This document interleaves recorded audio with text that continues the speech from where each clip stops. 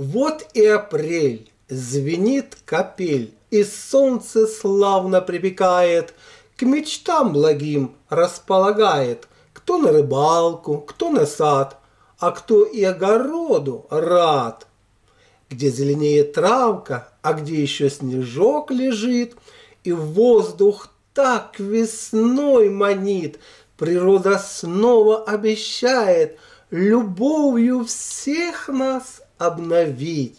Я принимаю обновление, весны прекрасное творение, И с соловьем запеть готов, В очарование погрузиться И жизнью милой насладиться.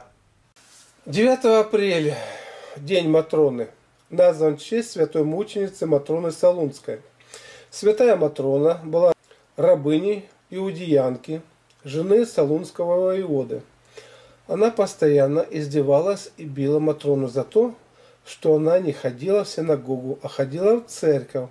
В итоге она ее забила до смерти и сбросила вниз. Вскоре мученицу постиг заслуженный суд Божий.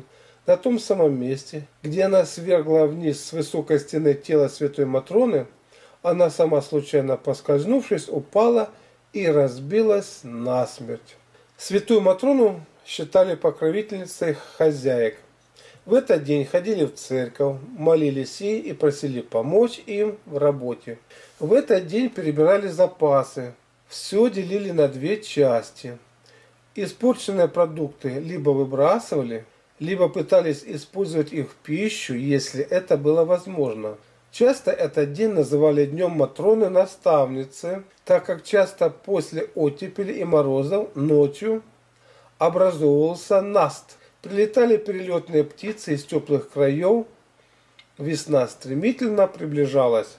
Это был последний день, когда женщины могли выбелить холсты, выносить их на улицу, класть на снег под солнечные лучи. Сегодня говорили – Щука хвостом лед разбивает. Значит, пора отправляться на рыбалку. Постепенно сходил лед, и начиналось половодье. Естественно, сегодня наблюдали за природными явлениями, чтобы вовремя начать посевные работы. Приметы. Сегодня не следует ссориться, потом не помиришься. Ини и туман утром к большому урожаю опала третья хвоя на хвойных деревьях, через две недели начнется ледоход.